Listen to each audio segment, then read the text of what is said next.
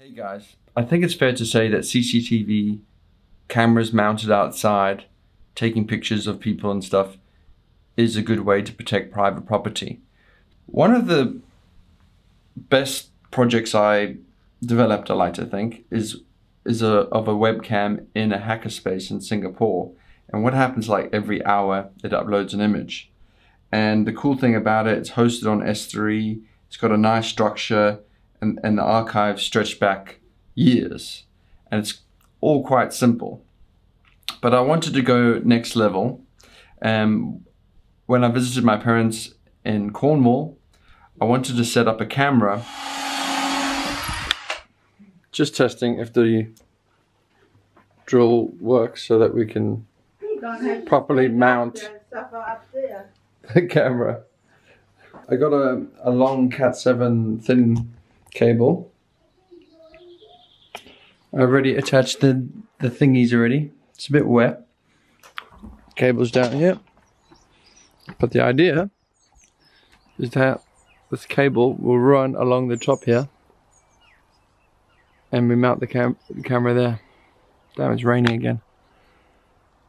So we've got the ladder going.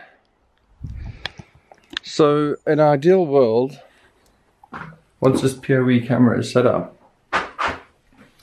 I'll show you how it's set up upstairs later. We could just watch what's happening on the back with this big screen. Okay. Here. But unlikely, huh?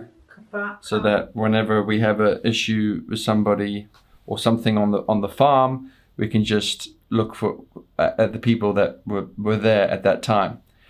So I was looking for a camera that was like kind of smart on the edge, and the only thing I could find that didn't come cloud, I didn't trust this cloud stuff because, namely, my my parents' place has a tiny upload channel. So I heard that like, oh, the Google one, what's the Google one called? Nest. That was really good at detecting people and cars and stuff. But since we just don't don't have the upload bandwidth, um, and I don't really trust the cloud um, for this sort of stuff, I, I, wanted to do it myself, i.e., hosted on S3. Um, I was looking rather at something like, yeah, the net the Netatmo, but then at 217 pound, I thought that was a bit expensive. I couldn't justify the cost, but I, I chose something much cheaper but at the same time, I've spent so many hours messing around in this bad UI that in retrospect, I should have gone for the Net Netatmo, whatever, however it's pronounced. So I, I, we, it was a toss up between the Hong Kong based HiWatch. I thought, oh, Chinese, so I'm not going to go there. And, and then I eventually went for this Amcrest, which to be honest is terrible software. It's, it's I spent hours and hours configuring it how I wanted to um, but now, yeah, I have it uploading much the same as a Hackerspace cam. It's uploading, as you can see, between from 2 a.m. or something like that at my parents' place. And this is what, what looks like now. I'll go into details now, but that's just to set you up here. How to set, how I set up my own CCTV. I didn't use an NVR. Um, I, I basically just use AWS stuff and kept it kind of minimal, like the Hackerspace camera thing. It's installed, the Amcrest, with um, the PoE AF cable running along into into the middle room, just a little bit higher than the telephone cable comes in. Sure, there's lights in my eye. So yeah, that's that's the telephone cable a copper wire that always goes wrong. Comes in there and yeah, the Cat 7 AF, uh, to be honest, I think I just hit it. Doesn't look 100% level to me. I'll show you the viewing angle in a bit. This looks quite cool. I'm pleased about this. Of course I was up on that ladder. Uh, even, I even, I, and I even so I can put the ladder away now. Even even had to stand up there to put the, these. I was putting these tacks in. They don't catch the the flat Cat Seven very well, but um, I think they'll hopefully hold it up. I'm indoors where our internet comes in. There's a PoE whatever adapter and then it comes into this MikroTik. So, outside we have the PoE AF going out the window. Still a lot of cable that needs to be cleared up. And as you can see, uh, you know, it gets triggered by my my our dog, which is not great. And there's even one where it gets triggered by a pigeon. but never mind that. I wanted to quickly show you the train wreck of the Amcrest software, where it, oh my gosh, it never remembers where the IP of my, of the damn, hold on, I have to figure out the IP now. It's like a Chrome extension that doesn't work in Linux at all because it installs some crazy plugin.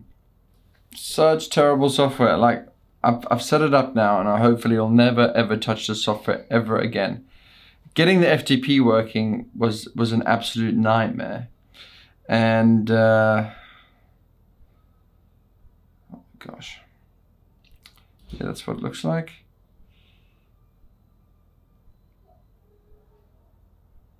I find it gets the the motion detection at night time gets triggered all the time because like spiders or, or rain just triggers it with the infrared. So the infrared night vision on this camera is, is particularly useless. The detection area set up here.